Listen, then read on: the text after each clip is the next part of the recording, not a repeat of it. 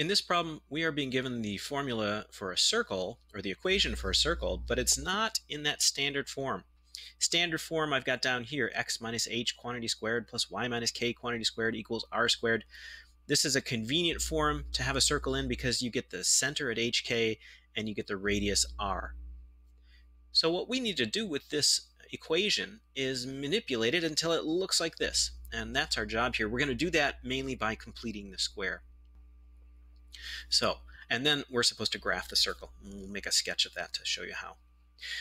What I'm noticing, first of all, is that I have one y term, and then I have two x terms, and then I have this number term. To get it to look more like this um, standard form equation, I'm first going to just add 16 to both sides to get that number over on the other side. So that leaves me with x squared, and while I'm rewriting this, I'm just going to bunch the x terms together.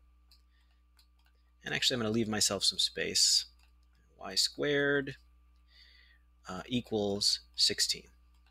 Okay, so far so good. This expression x squared plus 6x, what I want to do is I want to make that a perfect square so that I can rewrite it to look like this. When we have the x squared term and the x term, to make a perfect square out of that, you need to add a number to it. And the way we get that number is by these rules here. We divide the middle coefficient, which is the x coefficient, by 2, and then we square it.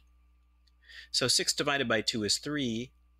3 squared is 9, so I'm going to add 9 there.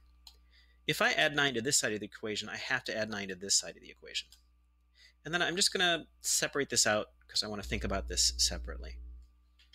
So I've got x squared plus 6x plus 9, which actually looks maybe farther away from the standard form than we were before, but this is a perfect square. This is equivalent to the expression x plus 3 squared. And you can verify that by multiplying x plus 3 times x plus 3, and you'll get this. I mean, this is the reason we completed the square. When you complete the square, that middle coefficient divided by 2 is what goes in here. So, now what do we do about this y squared? We're supposed to have y minus k quantity squared.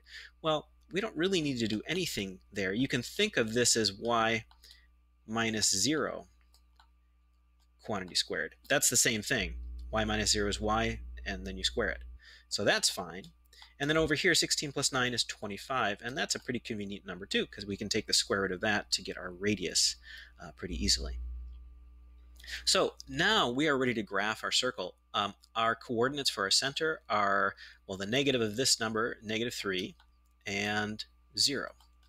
So our circle is centered at 3, 0, and the radius is the square root of this number, so the square root of 5. So I'm not going to put this on a regular coordinate plane. I'm just going to make a little sketch. So negative 3, 0 would be here. We'd count up 5, count down 5, count over 5, over 5, and then we'd draw our circle in on the graph. Like so. So that is how to uh, complete the square so that you can put uh, an equation for a circle in standard form to find its center and its radius and graph it more easily.